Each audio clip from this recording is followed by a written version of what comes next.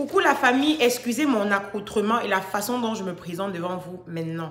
Donc, je viens aujourd'hui vous parler de Muriel Blanche. Honnêtement, je suis tellement déçue par son attitude et je tiens à en parler.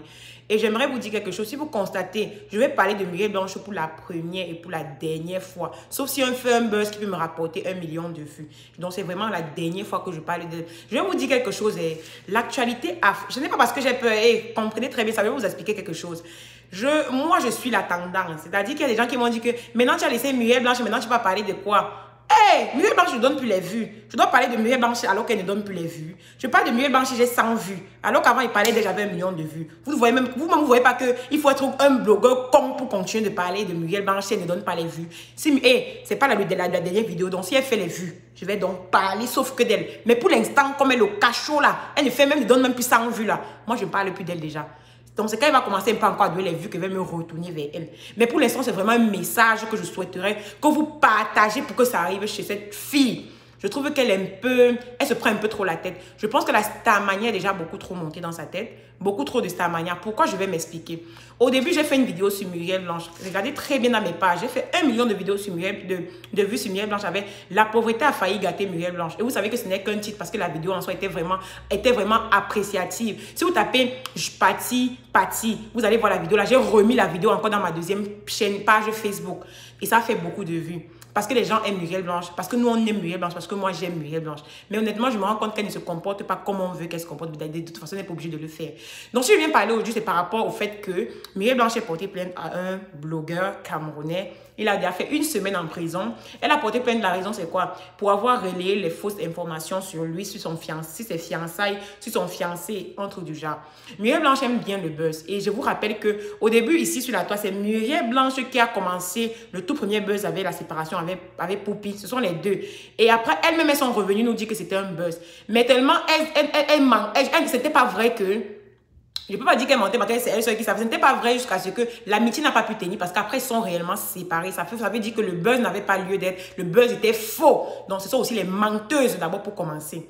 Maintenant, de deux, Muriel Blanche a créé un, buzz avec Pac et Pomme. C'est-à-dire que Muriel Blanche, à chaque fois qu'elle fait les... Je, je, je, Muriel Blanche, à chaque fois qu'elle fait les posts sur Pac et Pomme, c'est plus pour continuer de faire le buzz par rapport à leur situation à eux deux. Et ça a bien profité. Miguel Blanche, elle a tourné beaucoup de, de, de, films avec Pac et pour malgré son talent qui laisse honnêtement à désirer parce qu'elle n'est pas une très bonne actrice. Je continue de répéter, je le répéterai encore et encore. Si vous suivez les gens en fermant vos yeux, moi je ne suis pas comme ça.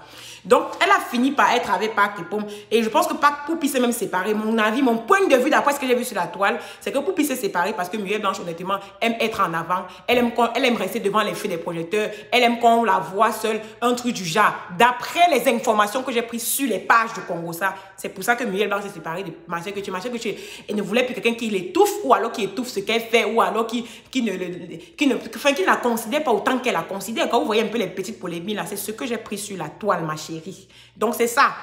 Maintenant, D'après les, les, trucs comme ça sont sortis après, Muriel Blanche était très contente. Muriel Blanche a fait les vues. Muriel Blanche a fait les vues. Muriel Blanche a, fait le buzz. Maintenant, Muriel Blanche ne fait plus le buzz. Et j'aimerais rappeler qu'il y a des nouveaux blogueurs. Je t'ai dit que moi, je ne peux pas laisser Awa, par exemple. Awa, quand c'est Awa Belle, non, je parle bien beaucoup d'elle ces jours-ci là, qui me donne des vues. C'est-à-dire, Awa Belle m'a donné presque 800 dollars sur ma page le mois-ci. Je ne peux pas laisser Awa Belle qui me donne les vues pour parler de Muriel Blanche qui ne me donne pas les vues. Jamais. C'est pour montrer que le buzz, ici sur la toile, on ne parle qu'en fonction de ce qui nous donne les vues. Est-ce que vous comprenez très bien? C'est pour dire qu'on n'a rien contre ces personnes-là. Parce que j'ai fait trois vidéos appréciatives sur Muriel Blanche. Je n'ai jamais eu même de remerciements. Ça va m'encourager encore à parler d'elle. Elle est star, non? C'est bien, c'est une bonne chose. Mais demain là, c'est question où on va se rencontrer.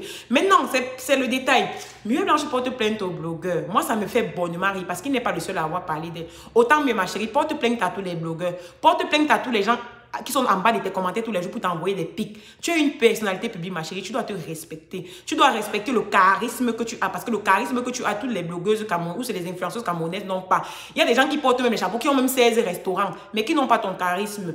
Maintenant, respecte-toi en tant que personnalité publique que tu es. Poupi, c'est vrai que les polémiques sortent sur elle, mais vous voyez, elle essaie tout d'éteindre rapidement. Elle ne veut même pas les buzz qui, vont, qui ne vont pas l'aider ou qui vont, qui vont euh, son image.